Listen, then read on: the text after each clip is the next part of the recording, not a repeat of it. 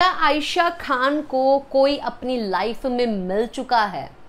ये बात मैं क्यों बोल रही हूँ? तो क्योंकि कुछ चीज़ें जो है मैंने नोटिस की है। और कुछ चीज़ें मैंने नोटिस की है तो ऑफकोर्स बहुत सारे लोग भी नोटिस करते होंगे ये सब चीज़ें।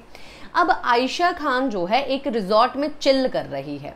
एक वीडियो जो है आयशा खान ने डाली है जहाँ पर आप पूल में हैं और पूल में एक मतलब कि ट्रे टेब, टेबल है जो कि आजकल पूल में मतलब कि खाने के लिए टेबल ट्रे वगैरह दे देते हैं जो कि खुद ही स्विम करती रहती है उसमें जूस रहता है ड्रिंक रहता है खाने के लिए रहता है ये सब चीज़ें। तो आयशा खान की अगर इस वीडियो को आप लोग ध्यान से देखें तो आयशा खान के उस ट्रे में जो है रेड रोजेज़ हैं और उस दौरान ही बाजू में भी रेड रोजेज़ पड़े हैं। और उसी दौरान ही वहाँ पर उस ट्रे में जो है दो ग्लासेस हैं, एक ब्लू और एक रेड।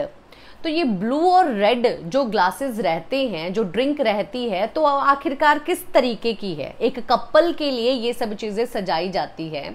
ब्लू यानी कि बॉय रेड यानी कि गर्ल यानी कि पिंक रेड तो इस तरीके से कपल के लिए ये सब चीज़ें सजाई जाती है। तो ये सब चीज़ें देखने के बाद मेरे दिमाग में यही सब चीज़ें आई कि चलो ठीक है भाई, बहुत ही अच्छे काम तो कर ही रही है। काफ़ी मतलब कि बच्चों को पिज़्ज़ा वगैरह भी देने के लिए गई, जो कि दिल जीत लिया है आयशा खान ने।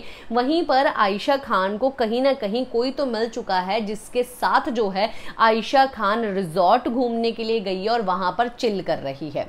तो क्या आप लोगों ने ये वीडियो देखी? अगर नहीं देखी है तो जाके देखिए और मुझे जो चीज़ लगती है कि आपको भी वही चीज़ लगती है, मुझे कमेंट बॉक्स में बताइए।